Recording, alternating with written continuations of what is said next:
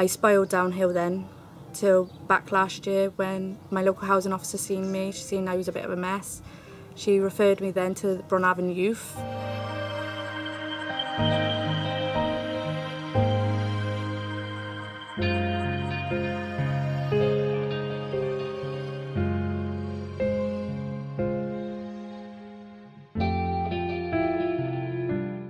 Personally, it's changed who I am because back when I first started, I was a girl who let people walk over me, tell me what to do, and I was going to end up going down the wrong route.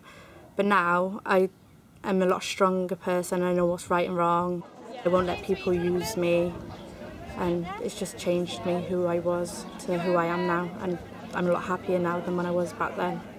I used to want to work in retail, but I changed my mind when I started doing all the courses and meeting the lovely people. Yeah. You see what I'm doing, don't you?